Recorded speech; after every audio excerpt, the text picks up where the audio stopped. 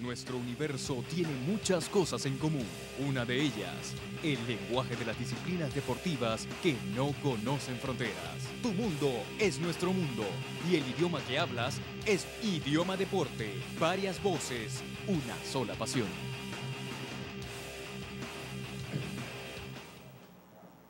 Amigos, bienvenidos a una nueva edición de Idioma Deporte, como siempre, a través de la pantalla de Atel Americana de Televisión, brindándote, como siempre, 30 minutos dedicados en su totalidad a repasar las diferentes disciplinas deportivas. Como siempre, me acompaña Alberto Ferrer Ávila junto a este servidor Edwin Palma y estaremos compartiendo con ustedes un programa bien especial, ya que tenemos un invitado, eh, de verdad que, bueno, un, un deporte, eh, se pudiera decir no tradicional, sin embargo, muy, pero muy interesante y lo vamos a ver a continuación. Pero antes presento, como siempre, a Alberto. Bienvenido, Alberto. ¿Cómo estás? Muchas gracias, Edwin. Encantado de estar esta mañana nuevamente contigo, listos para traerles la actualidad del acontecer del deporte nacional e internacional. Efectivamente, y como siempre vamos a presentar a continuación a nuestro invitado el día de hoy, ya que Idioma Deporte recibe a Daniel Sandoval, él es instructor encargado para el área de Occidente de la Escuela de Buceo Latitudes Cuba. Bienvenido, Daniel. Gracias, ¿cómo están? Gracias por la invitación.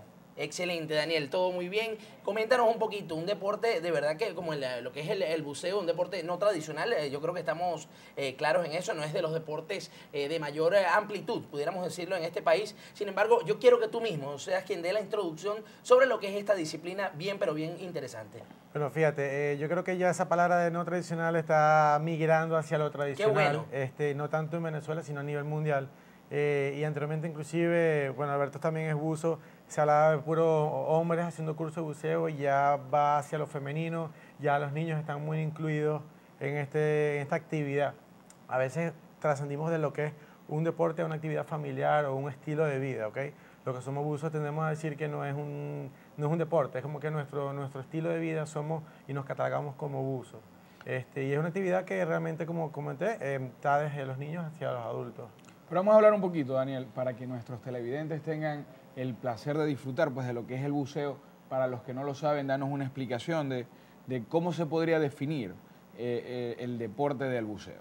Bueno, el deporte buceo es un deporte catalogado como buceo extremo, ¿ok? como un deporte extremo, perdón. Aunque las normativas, los estándares de seguridad son tan amplios y tan eh, excelentes que ya también lo extremo realmente lo hace si uno llega al extremo. Hay suficiente material educativo para hacerlo bien seguro, más seguro que cualquier deporte actual, eh, futbolito, voleibol, béisbol. Es más fácil que, como digo yo, que a veces tú tengas un incidente jugando futbolito que te pase algo buceando. Sí, coincido contigo sobre todo lo que es el grado de dificultad de esta disciplina, que como tú mismo lo comentas, retiramos la palabra no tradicional y le diríamos extremo. Yo creo que estamos de acuerdo en ese sentido. Ahora bien, tenemos aquí, en, eh, ustedes lo pueden ver a través de la pantalla, tenemos parte de lo que es eh, el aparel, el- los implementos necesarios para lo que es la práctica de este deporte. Vamos a ilustrar un poquito, Daniel, sobre lo que son estos instrumentos. Háblanos un poquito también, Daniel, este, ahora que tienes la oportunidad, ¿no?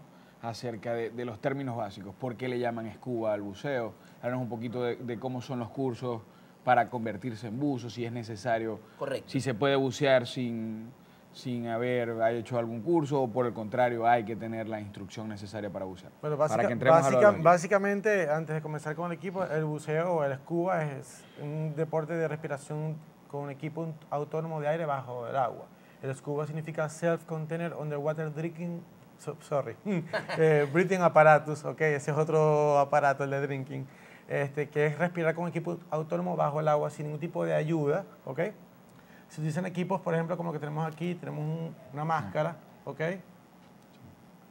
Una máscara para poder em, ver bajo el agua sin afectarnos la vista. Tenemos un regulador de buceo que es quien nos regula el aire comprimido a nuestra respiración normal y nos gradúa dependiendo de qué tan profundo vayamos. ¿ok?